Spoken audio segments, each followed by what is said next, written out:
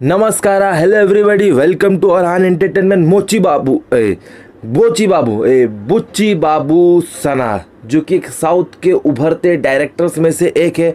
उन्होंने एक shocking statement किया जिसके बाद ट्विटर पे एक तरह से कह सकते हो कि इंडिया वर्सेस पाकिस्तान या इंडिया वर्सेस चाइना वाला वॉर क्रिएट हो गया है। यानी कि रॉकिंग स्टार यश के फैंस और अल्लू अर्जुन के फैंस के बीच में जो एक घमासान शुरू हुआ है, वो ख़त्म होने का नाम नहीं ले रहा, लेकिन साथ साथ कुछ ऐसे न्यूट्रल फैंस भी है, जैसे कि मेरी तरह, जिनको रॉकिंग स्टार यश और स्टाइलिंग स्टार अल्लू अर्जुन दोनों ही पसंद है और दोनों ही की मूवीज़ वो सिर्फ़ इसी वजह से देखते हैं क्योंकि उनको अल्टीमेटली एंटरटेनमेंट माँगता है। तो आप हम लोग इस वीडियो में यही बात करेंगे कि वो शॉकिंग स्टेटमेंट है क्या और आप लोग कितने सहमत हो?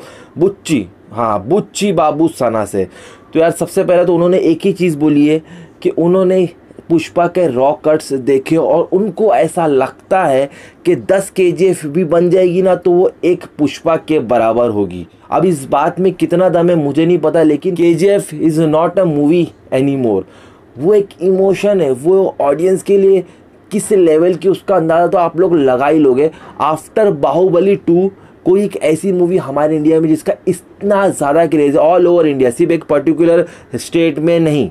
जैसे कि हिंदी मूवी के कुछ स्टेट्स में ही एक हाइप होती है साउथ में उतनी हाइप नहीं होती है। लेकिन this is one of a kind movie K G F chapter two जिसको लेकर पूरे इंडिया में इवन जितने भी इंडियंस जो बाहर रहते हैं, उनमें भी उतनी ही ज़्यादा हाइप है जितनी यहाँ के लोगों में। तो आप किसी ऐसी मूवी को लेकर इतना बड़ा बयान देना स्टेटमेंट देना, अपने आप में बहुत ही हिम्मत की बात है, बहुत ही बड़ी बात है। और अगर ऐसा नहीं हुआ तो उसके बाद बुच्ची बाबू की जो बोची फाड़ेंगे उसके बाद तो आपको पता है कि उसके साथ क्या होगा, उसको मतलब इतना ट्रोल करेंगे कि वो मगर फिर भी अगर बुच्ची बाबू की बात में ज़रा भी दम है और अगर वाकई में पुष्पा इस लेवल की है तो जो फैंस या जो जो मूवी देखने जाएँगे, उसका तो भाई हंड्रेड परसेंट टिकट वसूल हो जाएगा।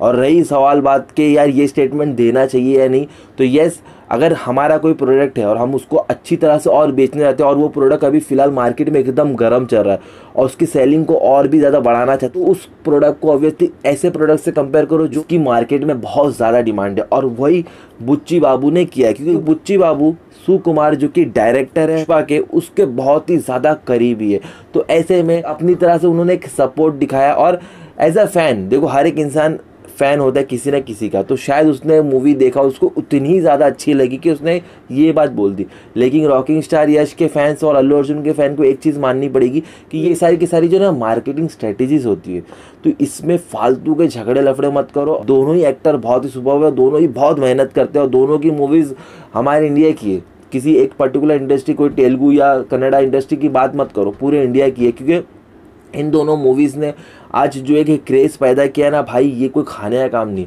और ये हुआ है इनके डायरेक्टर्स की वजह से, इनके पीछे की विजन्स की वजह से और इन एक्टर्स के स्वैग की वजह से कि इन्होंने अपने रोल को अच्छी तरह से निभाया। और रॉकिंग स्टार यश की तो मैं एक ही चीज़ बोलूँगा कि भाई, वो एक अकेला बंदा है जिसने अपनी पूरी इंडस्ट्री को पूरे इंडिया के ऑडियंस के सामने लेके आया यानी कन्नड़ा इंडस्ट्री को अगर जो उनके जो बड़े बड़े स्टार्स हैं, उससे भी ज़्यादा अगर किसी ने फ़ेमस किया है, फ़िलहाल तो वो है रॉकिंग स्टार यश। और ये चीज़ मुझे इस वीडियो में बोलने में कोई हज नहीं क्योंकि उसके अलावा डॉक्टर शिवराज कुमार हो या हमारे चैलेंजिंग स्टार दर्शन हो या हमारे किच्चा सुदीपा हो, ये सब एक्टर्स बहुत अच्छे कन्नड़ इंडस्ट्री के लेकिन रॉकिंग स्टार यश एक मात्र एक ऐसा एक्टर है जिसने अपनी मूवीज़ के ज़रिए पूरी की पूरी इंडस्ट्री को हिंदी ऑडियंस के सामने उठाया है। तो इसलिए रॉकिंग स्टार यश की तारीफ़ तो करनी बनती और प्रशांत नील सर, जो कि एक ऐसे विजनरी डायरेक्टर है, हमारे इंडिया में कुछ ऐसे डायरेक्टर है, जिनमें अब प्रशांत नील की भी एंट्री हो गई है, जो एक मामूली सी कहानी को भी, एक सिंपल सी कहानी को भी, एक बोलते ना लार्ज कैनवस में एक बियॉन्ड इमेजिनेशन में प्रेजेंट करने वाले डायरेक्टर्स में से एक है और उन्होंने के के साथ यही एक चीज़ की है। अगर आप लोग देखोगे तो कितनी सिंपल सी कहानी है, लेकिन जो उसका एग्जीक्यूशन था, वो हम लोग सोच भी नहीं सकते थे और उसके अलावा के में से बहुत सारी बात है, जिसको अगर हम लोग यहाँ बताएँगे तो फिर आप लोग बोलोगे कि भाई तू के का फ़ैन है। तो इसलिए वो चीज़ गलत हो जाएगी। और रही सवाल पुष्पा की बात होती कि पुष्पा अभी तक रिलीज़ नहीं हुई है। उसका सिर्फ़ एक छोटा सा टीज़र था, वो छोटा सा स्निक पिक था, जिसमें जो बैकग्राउंड म्यूज़िक था वो बहुत अच्छा था। अल्लू अर्जुन का जो गेटअप था वो बहुत अच्छा था। और वो जो एक एटमोसफेयर लोगों ने क्रिएट किया था उस जंगल का, वो काफ़ी ज़्यादा हॉन्टिंग था।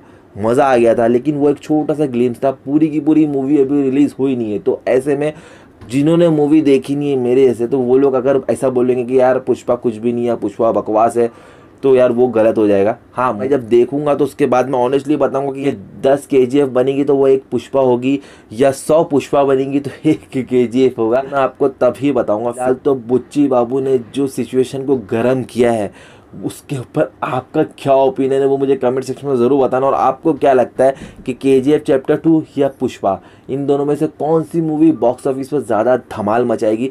हालाँकि दोनों ही मूवी धमाल मचाएगी, लेकिन आगे वही बढ़ेगी जिसकी कहानी ऑडियंस को पसंद आएगी। और उसके अलावा मैं एक और वीडियो बनाऊँगा जिसमें K G F chapter two Pushpa R R R इन तीनों के बारे में हम लोग बात करेंगे। क्योंकि देखो राधे श्याम के बारे में मैं इसलिए बात नहीं करूँगा क्योंकि मेरे हिसाब से जब तक राधे श्याम रिलीज़ नहीं होती, उस पर मैं कुछ भी बात नहीं कर रहा हूँ, क्योंकि मुझे फ़िलहाल काफ़ी डाउट फील हो रहा भाई।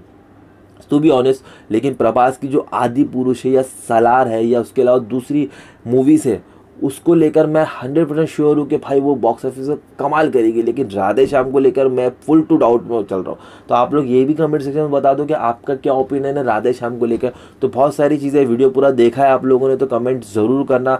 और आप लोग बुच्ची बाबू की बात से कितने सहमत हो, ये भी मुझे बता देना। तो यार, बस इस वीडियो में इतना ही, मिलते हैं नेक्स्ट वीडियो में। Till then I only support good movies चाहे वो कन्नड़ा हो, तेलुगू हो, तमिल हो, मलयालम हो, या हमारी हिंदी बॉलीवुड इंडस्ट्री हो। मूवी अच्छी होना चाहिए एंटरटेन होना चाहिए, और ऑडियंस के पैसे वसूल होना चाहिए। बस दैट्स इट बाय